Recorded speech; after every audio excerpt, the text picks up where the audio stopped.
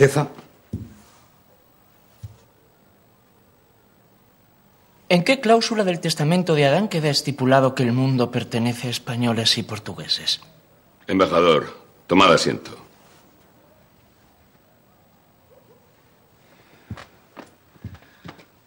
Jamás tuve contacto con tan valioso documento. Sin embargo, conozco de memoria los términos del tratado que firmasteis con mis señores en Barcelona. No es mi caso. Lo cierto es que haríais bien en recordármelos.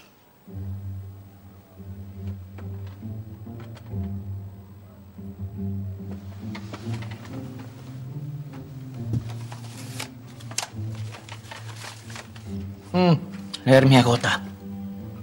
Si sois tan amable de hacerlo vos por mí. Por favor.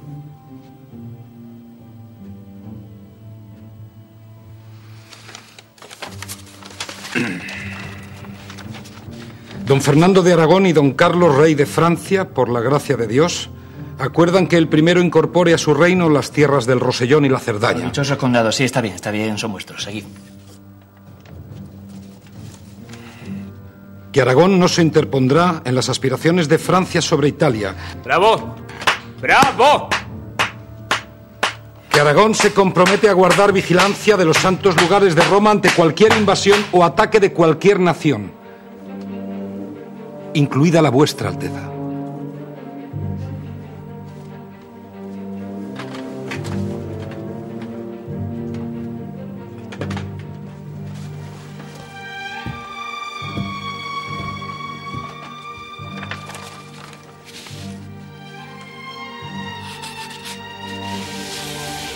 Mejor así.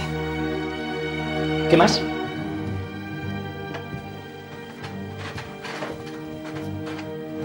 Alteza, si vos no estáis dispuesto a cumplir con lo acordado, nosotros tampoco. Sabed que Aragón ya no está obligada a respetar vuestros avances.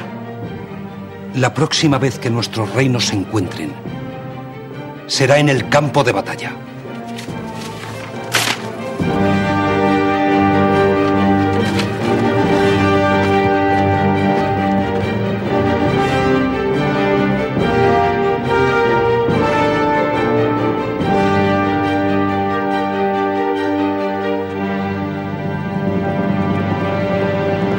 Mi señor, no lamento mi decisión, pero quizá vos juzguéis que me precipité y que podría haber intentado renegociar el acuerdo.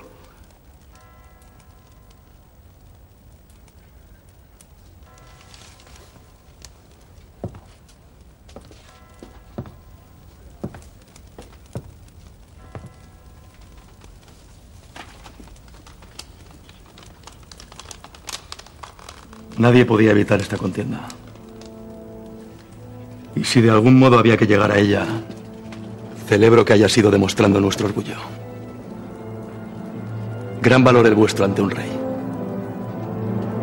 Que las huestes de Gonzalo Fernández de Córdoba avancen contra los franceses y que las milicias sicilianas hagan otro tanto. ¿Alguna orden más? Rezad por nuestro destino en esta guerra.